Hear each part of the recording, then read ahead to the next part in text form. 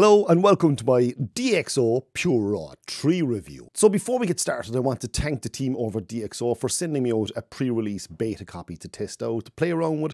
I've had this now for a while and I'm literally blown away by it. So um, I have a few sample photographs here I'm actually going to go through and edit. So let's see what it does and what it doesn't do. So firstly, you're going to click on that, select all, and we're going to click on process now it's going to give you several different options. So raw processing and denoising technologies. You can use high quality, prime, DeepPrime or DeepPrime XD. This is all to do with noise reduction. So I'm going to leave it in DeepPrime XD.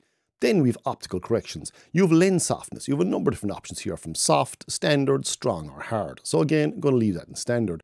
Vignetting, chromatic aberration and lens distortion you can change or you can you can select or deselect each and every single one of these. So this the vignetting is to to correct any vignetting that might naturally occur in your lens. Chromatic aberration, same thing there. Lens distortion, then obviously enough it's going to correct any of the lens distortion in the photographs. Now, in the lens distortion option, you have image cropped to original ratio, or you can have maximum rectangle or complete image area. So image cropped to original ratio I generally find works well enough, so I'm going to leave it in that. The output format then, how you want the files to be transferred over, you can select DNG, JPEG or TIFF. DNG is what I'm sticking with here. Then you can select the folder too as well.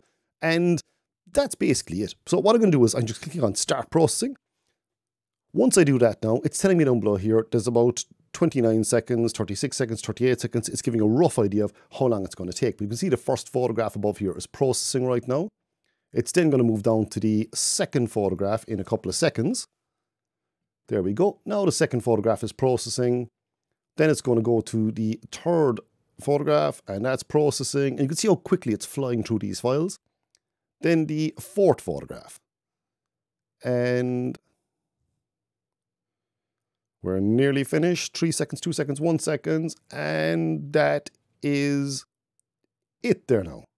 So what do we want to do? We want to view results. You can also export the files, but I just really want to view the results here. So what it's going to do is, so this is the original photograph. So if I zoom in, I would actually, without zooming in, we're just going to leave it as standard there now. So this is the original, and this is what the edited version looks like.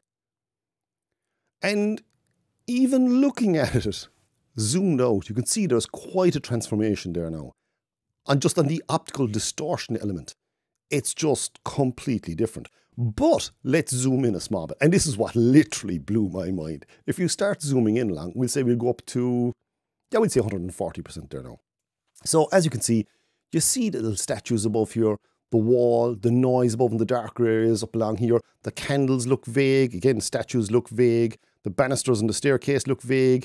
The writing, I can't really make that out. You kind of can, but you kind of can't. So that's the original. So, right, watch this. As we pull across, firstly, you'll see the distortion correction is pulling in along. And as we keep going, look at the noise. Look at the noise gone up there that's brilliant. And keep going. And then this is what blew my mind. Look at those candles. Look at that difference. That's crazy. The statue, look at how much sharper, how much cleaner that is there now. There is no comparison. But the writing, the first time I did this, I had to keep trying it again. Watch this. Look at that. That is just mind blowing honestly, no, the first time I tried this, I was like a kid in a toy shop. I just kept wanting to try more and more photographs. But that is, that is ridiculously good. Really, really ridiculously good. That's the before and after. That's crazy stuff.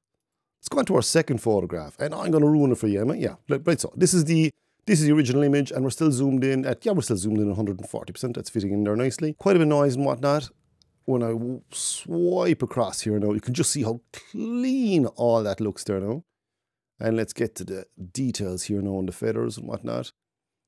Just so sharp too as well. Zoomed in 140%. Look at that. That's the after. That's before. That is just crazily good. Crazily good. And the absolutely nuts parts of all this is it's completely automatic. It just does that itself. You don't have to do anything. There's no sliders, does no nothing. It automatically adjusts the image. And the really cool thing about DxOs, in the DxO labs, they test all the combinations of cameras and lenses so they know the exact optical distortion that's going to occur on, let's say, a 16 to 35 mm Canon f2.8 lens when it's at 18 millimeter and it knows how to correct it and what at what level it's supposed to correct it at. So they test all the cameras and all the lenses in their own labs and they have this done absolutely perfectly. But the noise reduction is just, that's ridiculous. That really is ridiculous. So um, next then we're going to go to an astro image. And again, I've ruined it for you because I didn't have it in the right spot. We go to the lighthouse here now. So the lighthouse, and you can see there's quite a bit of noise in the sky and whatnot, and just pull this across. And it's just sharper, it's cleaner. And look at those, look at the look at the blurred edges on the outside here, and then just pull that across. And wow. Look at the noise above here, and it just disappears. That is crazily good. Really, really, really good. Again, even look at the rocks down below here now too as well. Look at that. That is so clean. And the last photograph then, uh, again, so might zoom out a small bit for this one. So I can see person holding hat in a darker, poorly lit area, high ISO shot. See there's quite a bit of noise in that. Actually, if I zoom in quite a bit, you can see there's quite a bit of noise in his face. It's a bit soft too as well. So if I pull back to here there now, and just pull this across, and look at that. Look at that. Look, even looking, even looking at the background, just look here. Look at these little details here now and just pull this across. Wow, the calendars, the dates, everything, the pictures in the background. That's out of focus. It's blurred. It's after correcting the distortion. It's just really, really good. Look at his face, it's so soft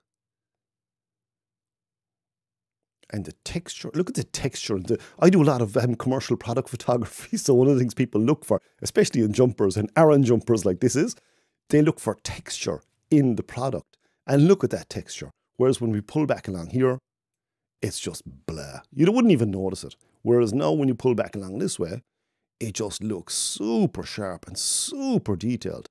And remember, this is zoomed in at 140%. When you go back to 100, bang, that is crazily good. But in all honesty, the first one, really, the first photograph, this blew my mind.